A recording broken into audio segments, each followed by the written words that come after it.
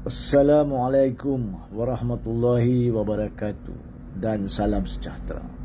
Hari ini Isnin 15 hari bulan Januari 2024 adalah hari pembukaan tahun undang-undang tahun 2024 di mana secara lazimnya ketua hakim negara dan juga peguam negara akan memberikan ucapan pembukaan tahunan mereka masing-masing.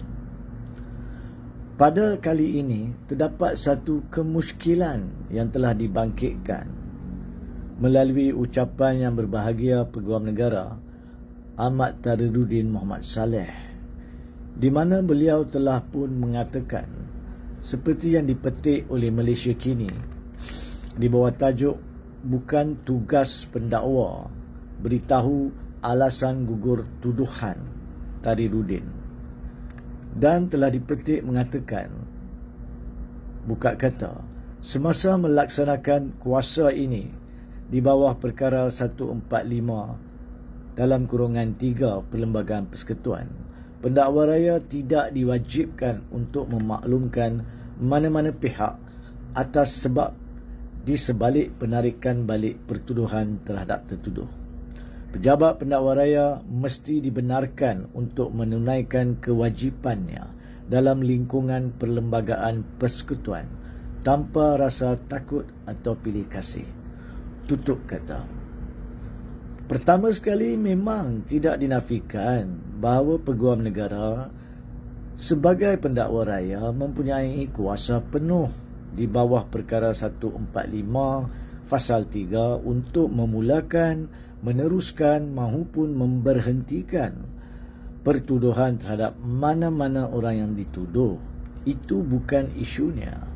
Tetapi apabila peguam negara mengatakan bahawa mereka tidak bertanggungjawab untuk memberikan alasan penarikan balik pertuduhan, itu menjadi isu yang besar terutamanya dalam kes-kes berkepentingan umum. Kerana seperti yang dinyatakan oleh Yang Ma'arif Ketua Hakim Negara dalam laporan Malaysia kini yang bertajuk Badan Kehakiman dipersalah atas keputusan pendakwa raya. Telah memetik antara lain ucapan Ketua Hakim Negara seperti berikut. Buka kata apabila pihak pendakwaan menarik balik sesuatu pertuduhan Mahkamah Jenayah hanya ada pilihan yang terhad iaitu membenarkan tertuduh dilepas tanpa dibebaskan yakni DNAA atau memberi pembebasan penuh. Hakim tertinggi negara itu kemudian merujuk kepada kes jenayah profil tinggi tahun lepas apabila hakim yang memberikan keputusan DNAA telah dianggap secara salah dan silap oleh sebahagian masyarakat sebagai kononnya korup, tidak kompeten atau kedua-duanya sekali oleh masyarakat ataupun golongan tersebut. Tutup kata. Sebenar-benarnya, sememangnya apabila kes berprofil tinggi dilepaskan pertuduhan, ditarik balik pertuduhan dan kemudiannya mahkamah perintahkan pelepasan sama ada pelepasan DNAA tanpa pembebasan ataupun pembebasan bersama dengan pelepasan. Rakyat yang tidak mengetahui selok-belok perundangan dan kehakiman akan menuding, menuding jari secara salah kepada mahkamah. Seolah-olah mahkamah yang membuat keputusan berkaitan pengguguran pertuduhan tersebut.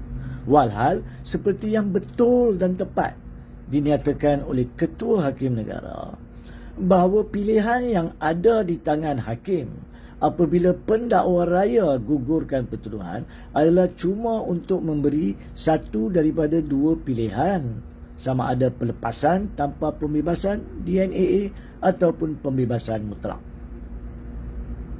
Oleh kerana inilah, yakni oleh kerana rakyat tidak faham selok-belok perundangan dan kehakiman, dan untuk mengelakkan tuding jari yang salah kepada sistem kehakiman negara yang boleh menjatuhkan hormat masyarakat kepada sistem kehakiman menjadi amat penting supaya pendakwa raya yakni pejabat peguam negara mengeluarkan kenyataan kenapakah penguguran kes dilakukan dalam kes-kes yang melibatkan kepentingan awam.